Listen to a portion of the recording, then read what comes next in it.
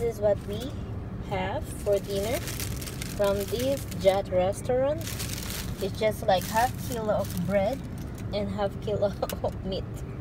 This is 150 dirhams.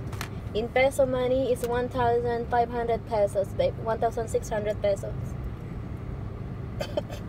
It's like two lamb chops. No three piece of lamb chops. Maybe three piece of this kebab. A little potato my goodness.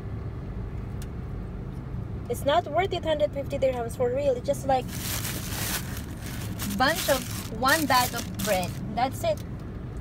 My lord jesus christ